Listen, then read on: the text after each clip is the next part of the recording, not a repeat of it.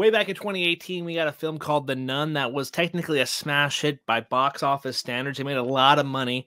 This film came from the Conjuring universe, and you know, I really liked the idea of Valak, this mysterious evil nun, and uh, I thought there was some pr- promise there. However, the the first Nun film really just left me wanting a lot more to be desired. It was kind of more adventure with a lot of jump scares. They really relied heavily on the jump scares. I really still dig Valak, and I think she's really effective in The Conjuring too.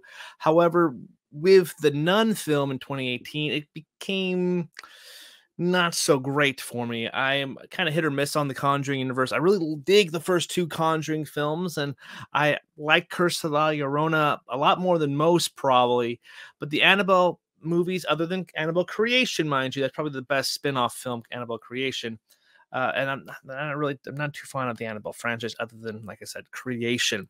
But The Nun 2 comes out. Michael Chaves returns in the director's chair he uh, since has done a couple films in this franchise, Curse of La Llorona, like I spoke of before, and The Conjuring 3, which came out, I believe, a couple years ago on HBO Max. Let's take it as a will. But the, the, the Nun 2 uh, didn't really have any really interest to go and watch it, but my wife really was insistent in going to check it out. And of course, we go to the theater, sat down. I was like, okay, well, we're going to take this with a grain of salt. It's going to be kind of a cheesy horror film. But pleasantly, I was surprised. Is it perfect? No, we'll talk about that. Is it effective for what it is? I think so. And if you enjoy these kind of early October, late September horror films, you may dig this one too. Uh, let's dig into The Nun 2. Like I said before, it is directed by Michael Chaves and it's written by Ian Goldberg, Richard Naing, and Akela Cooper. And surprisingly, it does have a really decent cast with some familiar faces there. It does have Taissa Farmiga, who reprises her, role from The Nun in 2018 as Irene. Funny enough, I just found out that she's the younger, much younger sister of Vera Farmiga, who's also in the Conjuring universe. So that's pretty exciting. Uh, Storm Reid shows up. I saw her in Missing this earlier this year, and she was uh, pretty decent in this movie. Uh, Anna Popplewell, who is kind of mostly known from the Chronicles of Narnia franchise. And Katelyn Rose Downey also appears in this film. There's several other actors there as well. The movie does take place in 1956 France, and we start off with a bang here. We do see our first big kill from Valak in the beginning of the movie. Her presence is kind of thrust into the movie quite free, uh, quite fast. However, we do see this kind of brutal kill of this priest in front of a young child who uh, is also he does like the communion there as well. So he's part of the um, Catholic Church there, and then it becomes kind of like a murder mystery. We are introduced back to Irene, who is played by uh, young Taissa Farmiga.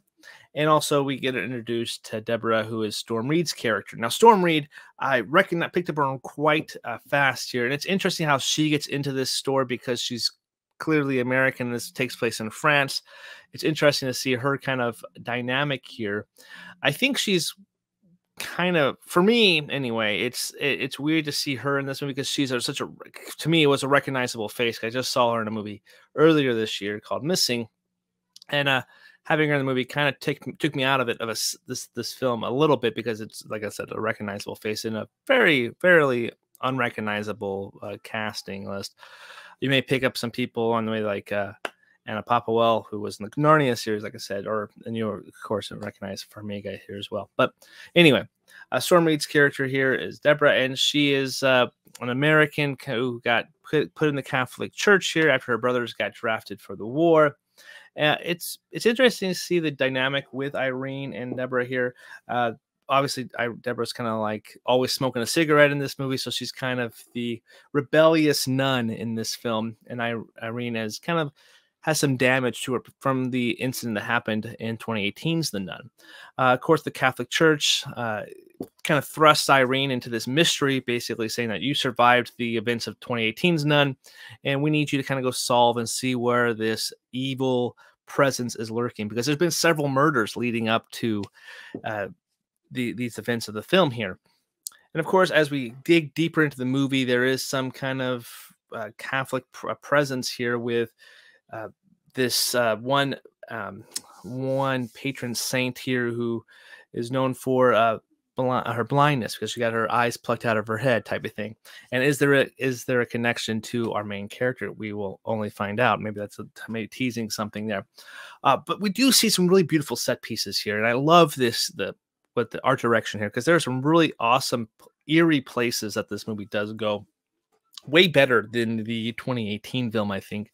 And I think everything about the movie is far superior to the 2018 version. And I'm going to probably be saying that quite a bit because I, I just didn't like that version. It was they relied on a lot of uh, jump scares and special effects stuff, especially when it came to Valak. And you, while you do get some of that here, it doesn't rely so much on the jump scares. That I didn't really wasn't really scared, but I was really enjoying where the story was going like I said, it's not perfect by any means because there are some characters that do some really dumb things, like young child actress who plays the character of Sophie, which was Katelyn Rose Downey. Uh, she is not the greatest actress here, unfortunately, but she's a child actress, but she does do a decent job. But there's these three girls that are really kind of bullying her here, and no one really defends her at all, which other than this one guy named Maurice, and we'll dig into him in a little, in a little bit. But the bullies are kind of really, really unlikable, kind of more punchable faces in this film, and it's interesting to see like how they just get away with things and no no attribution really is on them at all. They're like, hey, don't do that type of stuff. So that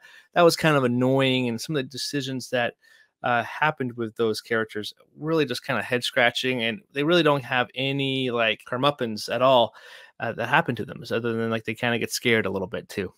However, uh, Taissa Farmiga is really good in this movie. She is actually really surprising and maybe maybe cracking my top 10 for one of my favorite performances uh, for a leading actress in this movie. I think she's really underrated and for being the Farmiga name, I really dig Farmiga, uh, Vera Farmiga's acting and Taissa is really up there as well. Um, I do think some of the uh, formulaic elements of the Conjuring franchise are there. However, this is definitely a bright spot in the universe because, like I said, the, the franchise as a whole is kind of uh, not a really great franchise. I can only really recommend three movies out of the franchise. I I believe there's three Annabelle films now. There's two Nun films. There's three Conjuring movies. La Llorona. So there's nine movies in this franchise here. And I only can say that I really kind of recommend and gave positive ratings to three of them. However, the Nun 2 is I, I can also recommend, even though it's not being probably not going to be a positive rating overall on the star rating scale, but it's one that I think that does everything it builds off what the, the first nun did do and kind of expanded it on it a lot uh, there may be some repetition in kind of the story what beats and everything but it does uh, bring some new things to it and some new mythology to the Conjuring franchise. The things I really don't care about this movie is that they do build up that tension and they do try to hit you sometimes with those jump scares. And while they may work, it's simply the loud noise that makes you jump out of the seat. It's not really the tension that the film builds every single time. I really don't like that. Also, the character Maurice, uh, who was also in the first movie, mind you. Uh, there are some things with that character that you kind of can pick up quite frequent, uh, quite early on in the movie that where you can you can kind of tell where the movie does go with that character, and so that could could turn you off too. Uh, but overall, if we're comparing the movie to the other films, I I really am positive, more positive sounding on this one, but I'm really my rating of the movie is based on where it really falls in the overall scope of the Conjuring universe. I think this one is uh, fun to go watch if you hit the matinee or just wait till it hits streaming. I think that's probably the sweet spot. Is wait till you hit streaming. It should be coming on streaming at some point soon where you can watch it at home um, and enjoy the experience. Uh, one kind of nitpick that's not really about the movie at all is that Regal uh, Theaters has you know pick your seat and you reserve that seat. So I get there and I we got there like right when the credits were kind of not the credits but the uh, uh, previews were playing. So near the end of the previews, and I, I there's only like maybe 10, eight people in the theater at the time, and I saw where we sat was in the middle row of the first row, right past, right above the handicap spots, right. Perfect kind of great seats for me and my wife. And there was nobody in that row at all. I get there and there's people sitting right next to the seats uh, we were sitting in. So what did I do? I just decided to sit right next to the guy. My wife said to scoot over at least one. But again, if you don't get the seat, don't sit somewhere you're not supposed to. Uh, yeah, that that's that's always kind of a nitpick thing for me, but it's different. If it, we weren't pay, picking our seats, then sit wherever you want. But I don't know. Uh, I hope they enjoyed the movie. I know they, uh, you know, there was things they, were kind of chuckling about, and uh, there's some stuff here that character decisions that I did chuckle about as well. Overall, I'm kind of two and a half stars, and that might be a lot better. However, I did give a movie Talk to Me two and a half stars, and I would rather watch The Nun 2 over that movie. So that's kind of my justification where I kind of rank uh, Talk to Me in The Nun 2. It, Nun 2 is right here, Talk to Me is right underneath it. I just liked the Nun 2 a little bit better. And I think it's probably because Taissa Farmiga, some of the art direction here, and actually Michael Chaves. I didn't talk about this. Michael Chaves' direction is better than he's done in the other two uh, Conjuring, The Conjuring 3 and Curse of La Llorona as well. Actually, I take that back. I didn't count La Llorona. So there's 10 movies in this franchise, and I kind of recommend only four or five of them. So almost like under 50% of the movies are actually, I think, good in this franchise. So Anyway, uh, Michael Chaves, I hope you keep directing some interesting movies. I think you are learning every time outing, and I think this is by far your best direction. I think there's some really good elements you can learn, uh, take away from this f- franchise here, uh, from this film rather, and bring it on to another movie. Hopefully, a different franchise. Get out of this franchise. I think that's that's a that's a good point there. Anyway, that's my quick takes on the Nun 2, the 10th movie in the Conjuring franchise. I believe it's 10 films. If it's not, let me know in the comment section down below. And what do you guys think of the Nun 2? Would love to hear about those in the comments. Anyway, thank you guys so much for watching. My name is Adam. You go watch some horror movies this October. See you later.